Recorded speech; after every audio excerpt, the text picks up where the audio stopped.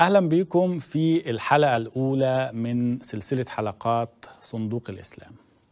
صندوق الإسلام بيفكرنا بصندوق الدنيا اللي كنا وإحنا أطفال بنلعب عنده بنشوف في ثقب معين آه، عالم تاني ودنيا تانية غير العالم اللي إحنا نعرفها في القرى والمدن اللي اتربينا فيها. ودي كانت فكرتي إني كل يوم أحط إيدي في صندوق الإسلام وأطلع منه قضية جديدة مشكلة جديدة ناس كتير ما آه، بتتعاملش معاها. آه، إحنا كلنا وإحنا صغيرين لحد حتى لما كبرنا دايما نقول أنا مسلم وأفتخر. آه، من غير ما نعرف نفتخر بإيه ومسلم ليه. فضل الإسلام حاططنا في الصندوق دون فما بنشوفش غيره. لكن لما بنطلع بره الصندوق بنبتدي نشوف أفكار تانية وزاويه تانية بتعرفنا حاجات في الإسلام ما كنت ما كانتش تخطر على بالنا عشان كنا مزنوقين داخل الصندوق. صندوق الإسلام مش هجوم على حد ومش هجوم على عقيدة وإنما محاولة للتفكير الحر اللي هي في الدول العربية والإسلامية ممنوعة ومحرمة. دلوقتي فيه موجة آه، وموضة جديدة ماشية في الدول العربية خاصة في مصر اسمها إصلاح الإسلام وتجديد الخطاب الديني. وهتلاقي ناس زي الأستاذ إسلام البحيري هتلاقي ناس زي الدكتور عدنان إبراهيم الدكتور محمد شحرور وغيرهم بيقولوا إن الإسلام في عصر النبي كان جميل جدا ما فيهوش مشاكل وكان متسامح ودين رحمة.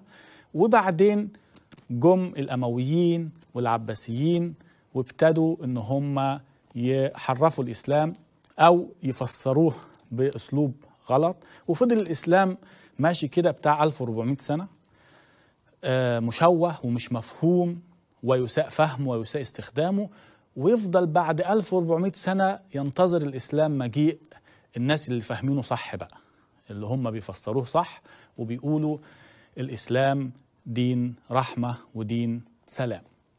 أنا لي نظرية مختلفة تماما في هذا الموضوع وهو إن الإسلام يعني بدأ كدين متوحش. هو طبيعته كده في وسط الجزيرة العربية مكة والمدينة كانت مدن لا تعد بأي مدنية أو أي حضارة أو أي ثقافة وقبائل تجمعت وغزت الجزيرة العربية وبعد كده ابتدت تغزو العالم كله. ولما الأمويين والعباسيين جم هم اللي ابتدوا يهذبوا هذا الوحش ويخلوه يتمشى مع الحضارة. هم اللي اخترعوا آه، سيرة للنبي عشان يحطوه في إطار حضاري معين. هم اللي اخترعوا آه، علوم الفقه والحديث علشان يحطوه في أطر آه، معين.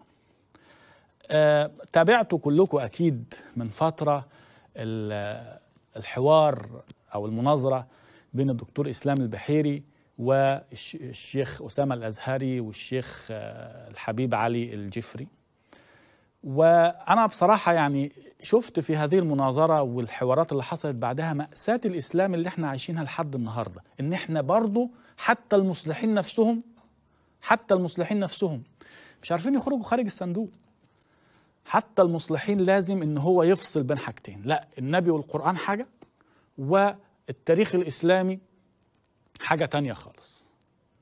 وده شيء مش مفهوم ومش مقبول بالمرة. كل شيء حصل في تاريخ الإسلام هو مترتب على ما حدث في القرن الأول. كل شيء حدث في تاريخ الإسلام بيستمد شرعيته من اللي حصل في الجزيرة العربية أيام النبي ما كان عايش. يعني أنا وأنا بقرأ تاريخ الإسلام شفت النبي لما كان بيدعو آه، دعوة سلمية. ادعو إلى سبيل ربك بالحكمة والموعظة الحسنة. ما حدش آمن بالدعوة إلا قلة قليلة جدا ما يقدرش يعمل بيهم دولة. الدولة الإسلامية بقى اللي هم بيسموها دي نشأت على أي أساس؟ نشأت على أساس إن اتعمل جيش والجيش ده ابتدى يعمل غزوات ويهاجم قوافل وابتدى يعمل اقتصاد إسلامي قائم على فكرة الغزو. يعني أنا لما دورت النبي والصحابة كانوا بيشتغلوا إيه في المدينة بعد الهجرة؟ لقيتهم ما بيشتغلوش حاجة. لا بيتاجروا ولا بيزرعوا ولا بيعملوا حاجة. بيعملوا الغزوات وبعد الغزوة بيجي يوزع الغنائم فابتدت الأعداد تكتر. مع هذا المنطق. قبل كده لما كان بيدعو بس بالحكمة وبالموعظة الحسنة ما كانش فيه ما كانش فيه أعداد يعني كبيرة أمنت بالإسلام. الأعداد ابتدت تيجي إمتى؟ لما ابتدى يبقى فيه فايدة سياسية واقتصادية. إنك لما تنضم إلى هذه المجموعة هيبقى لك سهم من أسهم الغنائم. أنا وأنا بقرأ تاريخ الإسلام أو اقرا آية من القرآن بتقول لك الله له الخمس منها وللرسول. برضو حاجة يعني غريبة جدا في من منطق عقائدي ومنطق ديني. إزاي يكون لله خمس غنائم آه الحروب؟ جاية منين؟ في تشبيه أنا هعمله آه ما بين نشأة الإسلام والمافيا. نشأة الإسلام ونشأة المافيا. التشبيه ده بيضايق ناس كتير وطبعا مفهوم إن محدش عايز من المؤمنين إنه يسمع تشبيه الإسلام بالمافيا. ولكن لمف... لمعرفة أو لفهم الأزمة التي يعيشها الإسلام لأن الإسلام يعيش مصيبة مع نفسه ومصيبة مسببها للعالم بسبب نشأة الإسلام التي لم يتحرر منها المسلمون حتى اليوم. أنا بسمي ده العيب الخلقي للإسلام اللي هو هذه النشأة النجاح السريع السياسي والاقتصادي والتوسع والفتوحات أو الغزوات هي اللي أصبحت ما سبب للإسلام في الماضي النجاح والتقدم هو اللي بيسبب للإسلام النهارده إنه مش عارف يخرج من الصندوق. إزاي؟ المافيا. حركة المافيا نشأت إزاي؟ لو قارنا بدقة هنلاقي إن نشأة حركة المافيا شبيهة جدا بنشأة الإسلام. إزاي؟ المافيا دي نشأت فين؟ نشأت في جزيرة صقلية في جنوب إيطاليا. إشمعنى جزيرة صقلية بالذات؟ جزيرة صقلية كانت محتلة من العرب. ومفيش ثقافة أثرت على صقليه أكتر من الثقافة العربية. هم اللي أثروا في الزراعة مفهوم التجارة. هم اللي دخلوا فكرة الجزية والأتوات لجنوب إيطاليا. لو تفتكروا كان فيه القذافي مرة كان قال حاجة اعتبرناها نكتة لكن اللي قاله ده كان فيه شيء من الحقيقة.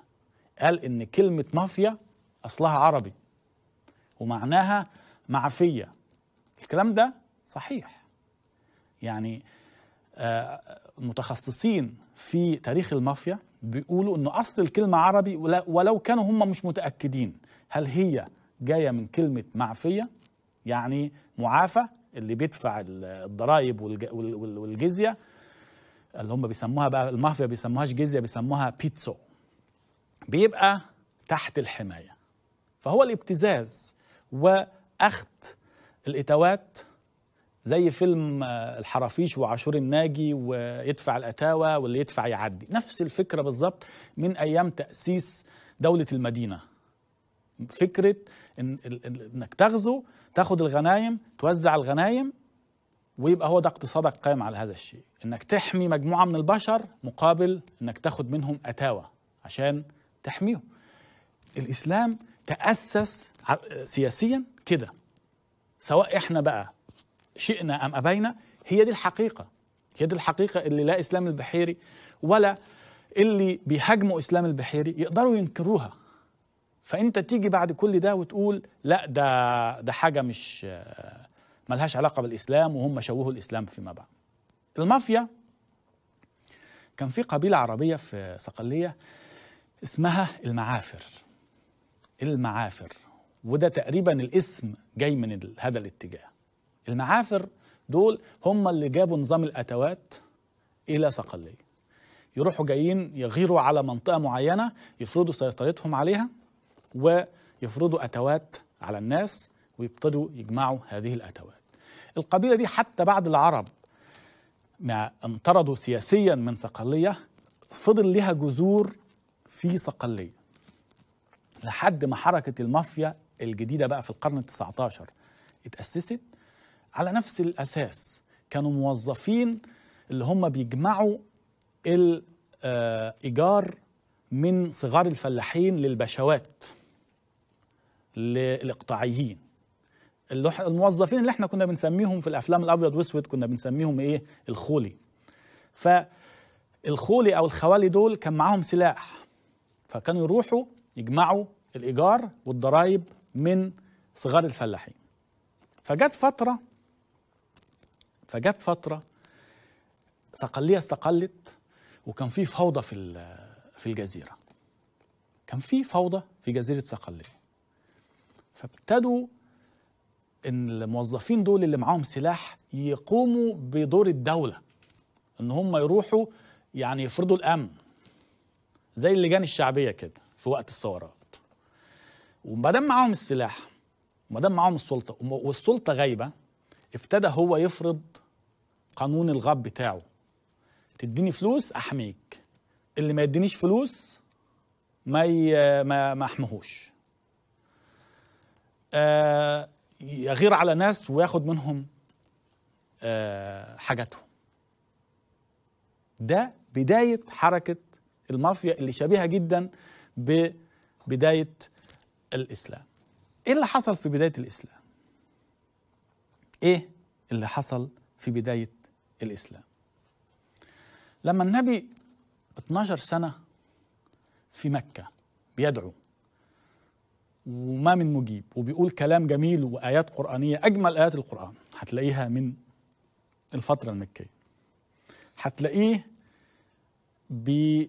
بيدعو للتسامح. هتلاقيه بيقول للناس لكم دينكم ولي دين. ادعوا إلى سبيل ربك بالحكمة والموعظة الحسنة وأجادلهم بالتي هي أحسن. هتلاقيه لا يدعو إلى عنف أو إلى حرب. كلمة قتال أو حرب أو ما ما ظهرتش غير في المدينة. يعني كل المبادئ الجميلة الناس ما استجابتش ليها في مكة. لما انتقل وراح المدينة تغير كل شيء. إيه إيه النقلة اللي حصلت؟ ده الشيء اللي ناس كتير بتحكي التاريخ بسرعة كده كأنها بتاكل أكلة سريعة وعايزة تبلعها بسرعة. لا اهضم قبل ما تبلع. اهضم قبل ما تبلع. إيه اللي حصل اللي خلاهم يدخلون في دين الله افواجا؟ إيه اللي حصل بالظبط؟ إيه النقلة اللي حصلت؟ النقلة إنه كان في تحالف عسكري من نوع غريب جدا. إحنا كلنا المعروف لنا في التاريخ هو إن الرسول تحالف مع الأوس والخزرج وأصلح بينهم ف وأسس دولة في في المدينة. لا قبل الأوس والخزرج ما يكون لهم دور كان فيه فرقة تانية النبي تحالف معاه والكلام ده موجود في الكتب. الفرقة دي اسمها إيه بقى؟ فرقتين. فرقة اسمها الصعاليك الصعاليك دول كان مجموعة من المجرمين وقطاعين الطرق اللي عايشين في الجبل في جبل آه تهامة أو تهامة.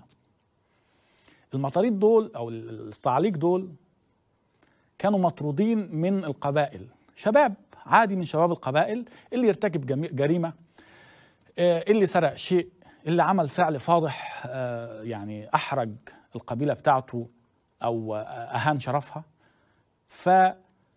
فبيطردوه فبيتجمعوا المطاريد دول في الجبل وبيبتدوا يكونوا مجموعات مسلحة ويروحوا يغيروا على القوافل يغيروا على القبائل يخطفوا نساء يخطفوا أطفال يبيعوهم عبيد وعايشين على السطو وعلى الغنائم.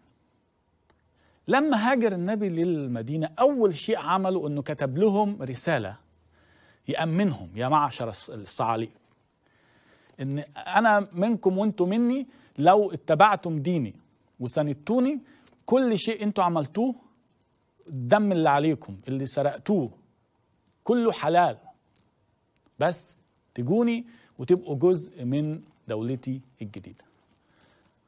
هاجروا ال- اول هجوم على القوافل كان من الصعاليك ليه؟ لأن يهود المدينة كانوا ضد فكرة إنك تهاجم من المد... تستخدم المدينة للهجوم. إحنا ندافع معاك آه عن المدينة. لكن أنت ما تهاجمش من المدينة على قبائل تانية لأن أنت كده بتحرجنا حتى الأوس والخزرج في البداية ما شاركوش في غزوة آه، بدر وما شاركوش في آه، آه، الهجمات اللي على القوافل قبل كده. فالصعاليك كانوا أساس النجاح. جاء بعد كده قبيلة اسمها قبيلة غفار بتاعه أبو ذر الغفاري. أو أبو ذر الغفاري. القبيلة كلها كانت قطاع طرق وهي القبيلة الوحيدة التي هاجرت عن بكرة أبيها. كلهم هاجروا من مكة من من من غفار إلى المدينة. كلهم استوطنوا في المدينة. ليه؟ اشمعنى القبيلة دي بالذات هي اللي هاجرت؟ لأن النبي عايزهم. النبي عايزهم عشان يقووا شوكته. ما هو عرف إن القبائل العربية صعب إن هي تبتدي تهاجم قريش لأن عندها مصالح مع قريش. حتى الأوس والخزرج في البداية كان فيه نوع من الحرج. هو ورطهم فيما بعد بقى في الحروب وخاصة بعد ما يبقى يعني نجح ابتدوا يساعدوه. لكن في البداية هم الصعاليك وقبيلة غفار اللي ابتدوا يخلوا للإسلام قيمة ووزن. وهكذا نشأ الاقتصاد الإسلامي وظل هكذا قرون طويلة جدا. الاقتصاد الإسلامي قائم منذ بدايته على هذه الأفكار السبي السطو تقسيم الغنائم الجزية بيع البشر. كلمة مؤذية جدا. أيوه تجارة العبيد كانت من عصب الاقتصاد الإسلامي لحد الدولة العثمانية. لحد ما بعد تحرير العبيد في أمريكا إبراهام لينكولن. لما ابتدوا يعملوا مواثيق دولية لمنع آه، تجارة العبيد. وهو ده الشيء على فكرة اللي أضر بال آه، الإسلامي. لأن اللي متعود طول حياته لو تفتكروا الكلام اللي قاله أبو إسحاق الحويني قال لك إن إحنا ضعفنا من ساعة ما بطلنا نعمل غزوات على بلاد الكفر. وعنده حق فعلا. ما هو لأن اقتصادنا كله كان قائم على هذا الأساس. إنك تروح تسطو هو كان يقول لك يعني تروح تسطو على بلد تاخد لك راس راسين تبيعهم تفك بيهم أزمتك. هو كان الاقتصاد الإسلامي فعلا قائم على هذه الفكرة. ولما ولما غابت إمكانية آه السطو والغز والغنائم والسبي وبيع العبيد اكتشفوا إن ما عندهمش حاجة يبيعوها للبشرية. الاقتصاد العالمي حاليا قائم على فكرة إنك بتبيع شيء البشرية محتاجاه. هو اللي بيسيطر على العالم النهارده ما عادش اللي هو معاه سلاح أكتر ولا اللي هو معاه ناس متوحشين وبيهجموا على القرى والقبائل لا. اللي بيسيطر حاليا على العالم هو اللي عنده شيء بيبيعه للعالم. تلاقي أهم دول في العالم دلوقتي هي الدول اللي سايبة منتجات في بيتك. أنت دور في بيتك شوف إيه المنتج الأمريكي أو الألماني أو الياباني أو الصيني هتعرف إن هي دي الدول القوية. فين المنتج السعودي اللي في بيتك؟ فين المنتج الباكستاني اللي في بيتك؟ فين المنتج المصري المغربي الشامي؟ مش هتلاقي. فهي دي الأزمة وهي دي المشكلة. إن الإسلام نشأته كان فيها عيب خلقي. نشأته كان فيها عنف كان فيها اقتصاد قائم على الجور على الآخر وأخذ حقوقه. ولما هذه الأسباب غابت لما البشرية تطورت وطورت اقتصادها وسياستها ظل العالم الإسلامي محشور في الصندوق القديم بتاعه اللي بيقسم العالم لمؤمن وكافر الصندوق اللي ما بيشوفش بره هذا الصندوق. الصندوق اللي شايف نفسه إنه أفضل مكان وأفضل أمة وخير أمة أخرجت للناس. في الحلقة اللي جاية هنكمل المقارنة بين الإسلام والمافيا وأتمنى إن اللي بيسمعني ما ياخدش الموضوع بحساسية شديدة. أنا واحد من الناس كنت في يوم من الأيام بقول الحمد لله على نعمة الإسلام. لحد ما في مرة وأنا بعد ما قلت الكلمة دي سألت نفسي السؤال أنا بحمد ربنا على إيه بالظبط؟ إيه إيه هي النعمة دي؟ مش قبل الإنسان ما يحمد ربنا على نعمة يقول إيه هي النعمة دي؟